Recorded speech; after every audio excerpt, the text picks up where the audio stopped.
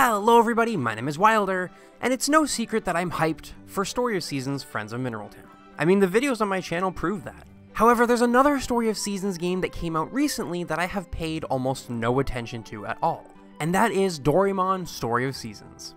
Now this is a crossover with, obviously, Doraemon. We've known about this game for a while now, but I haven't paid attention to it for a few reasons. The biggest one being that I don't know anything about Doraemon. Like, no joke, I, I don't know anything. I didn't even know he was a cat? I mean, I learned that from this demo. I mean, can you blame me on that one though? So I did plan on skipping this game, but there was a demo for it released on the Switch. I decided to try it out, and after playing it, I wanted to give you my first impressions on the game. So let's get into it. Now in this game, you play as a kid named Noby. You, Doraemon, and the rest of your friends get sent to a whole other world by some freak accident. When you arrive, you realize that Doraemon has lost all his gadgets that would have helped you return home. The group comes across a town where they decide to stay at while they look for a way home. Now, because you're staying here for the time being, everyone decides to take on different jobs to help out around the town, and Noby is gifted a neglected farm to work with. Now, right off the bat, this game already seems more story based, or cutscene based, if you will, than other Story of Seasons games. Even in this demo, I was triggering cutscenes left and right. I was having character interactions left and right. Now, this is not a bad thing. The main reason it isn't a bad thing is because these characters are all really likable, and their interactions are honestly pretty wholesome. If I had to describe this game, then I would definitely use the word wholesome. The game's main theme is friendship, and even though that's one of the main themes throughout the entire Story of Seasons series, it's focused on a lot more in this specific game. The fact that the game is working with characters that already have a history with each other, and that already have a history in general, really, really works for its cutscenes, interactions, and themes. It really does this game a lot of favors. But enough about that. Let's get into gameplay. Now this is a Story of Seasons game, so of course you're going to be taking care of a farm, planting crops, feeding animals, you know, all that good stuff that we're here for. So far, it feels like farming has been brought back to its basic form for this game. You know, they didn't try to add anything crazy or too new to spice things up, and I'm really glad that they didn't. Other Story of Seasons games in the past have tried adding new things to really mix it up and make farming feel fresh. But more often than not, it just ends up feeling cluttered, and like there's too much going on at one time on your farm.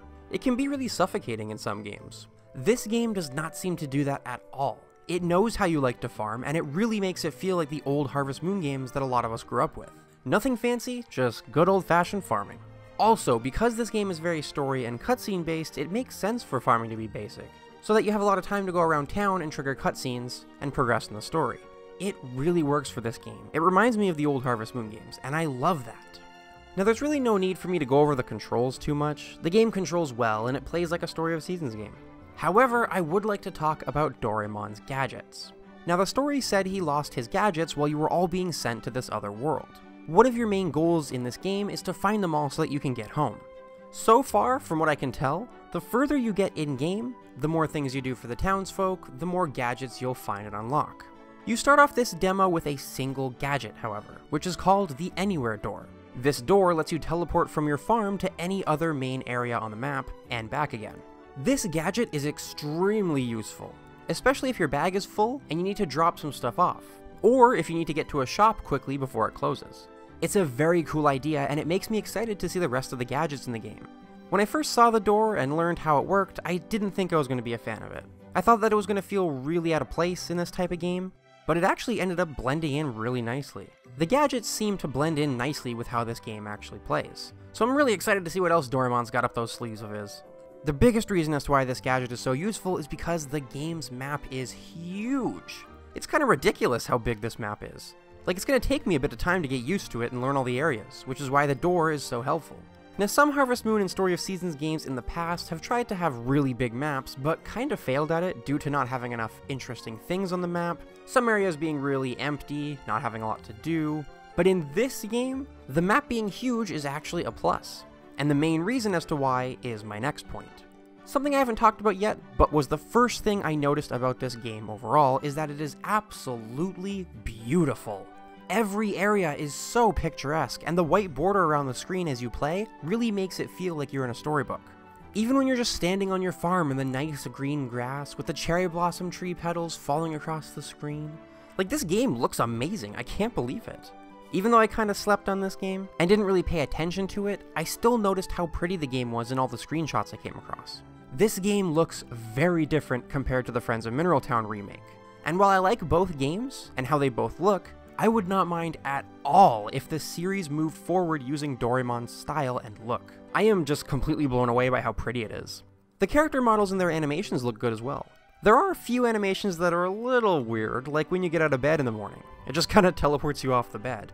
But in regular conversation, the animations look good and they match the characters well. Speaking of the characters, their designs are also really, really good. I think they match the cute and wholesome feel that this game has. On the same note, the music is also something that matches the game incredibly well. If I'm being honest, like 100% honest, the music in this game is perfect. It is perfect for a Story of Seasons game. The music is relaxing and it really sets the tone for this game. I really can't wait to hear the rest of the soundtrack, because I know it's going to be just as amazing as the little bit that I've heard already. Now, while this game has been a lot of fun, there are just a few problems that I do have that I'd like to touch on.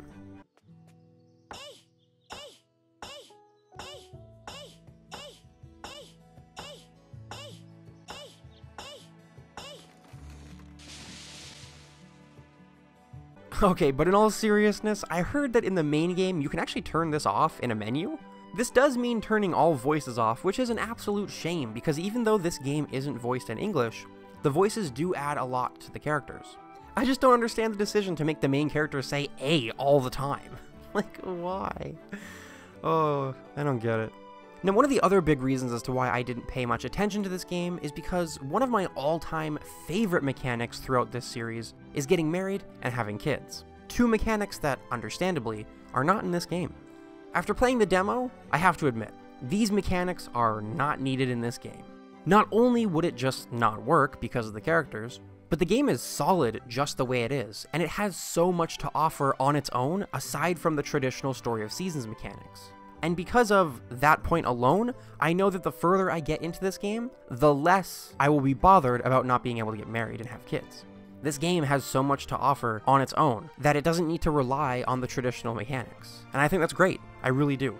So that's actually it for the problems I had with this game. And honestly, they aren't even really problems. I've just had a lot of fun with this game, and I think it's really good so far. Like I said, I wasn't paying attention to this game as we were getting all the information for it, because of the Friends of Mineral Town hype and because I just didn't know who Doraemon was. But after playing this demo, I can tell you that that was clearly a mistake. 100%.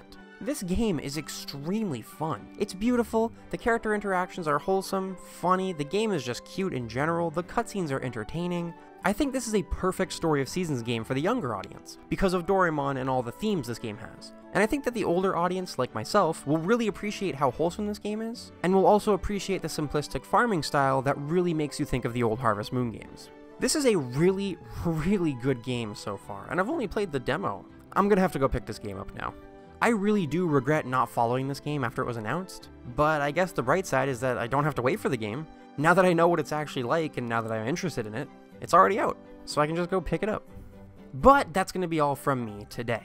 Those are my first impressions. What do you think about this game? Have you played it? Have you played the demo? Let me know in the comments down below. Don't forget to leave a like if you enjoyed this video. Down in the description, there are links to my Patreon, my Discord, and my Twitter, so go check them out if you're interested. I want to give a huge thank you to all my wonderful patrons. Their names are down in the description as well. Thank you all so much for watching, and as always, I will see you in the next one.